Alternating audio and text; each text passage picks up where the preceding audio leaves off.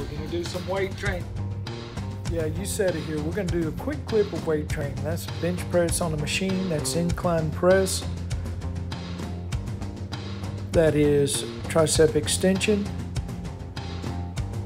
Concentration curls. Curls on a machine.